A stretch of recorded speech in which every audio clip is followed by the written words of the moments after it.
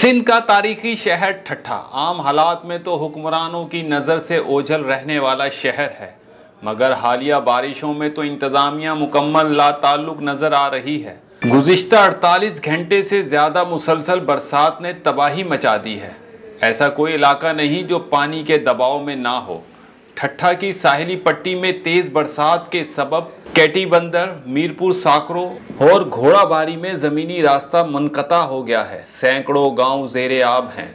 ठट्ठा के कोइस्तानी इलाके झम्पीर जंगशाही, जंगड़ी, मालमाड़ी, बरादाबाद में तूफानी बरसात के सबब बरसाती नाले बहने लगे। दराव डैम भरने के बाद बरसाती पानी दरियाए सिंध में दाखिल होने लगा है और कोहिस्तानी इलाकों का पानी सूड़ नहर, लोयाज नहर और जंबीर के ज़रिए केंजर झील में दाखिल होने लगा है। केंजर झील की सतह आधा फिट बढ़ गई है। सिंध का सबका दारुल सल्तनत ठट्ठा शहर के तमाम महल्ले, जिसमें इस्लामपुर महल्ला, बुखारी महल्ला, शाही बाज़ार, सोनार कली मछली मार्केट, शेख फरीदी चौक मुकम्मल जेर आब आ चुके हैं।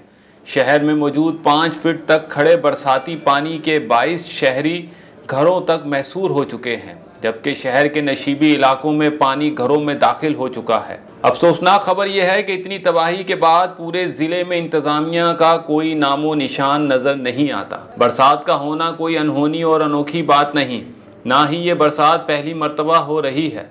सवाल ये है कि 40 साल तक इकतदार में रहने वालों ने एक शहर का भी इंफ्रास्ट्रक्चर क्यों ठीक नहीं किया?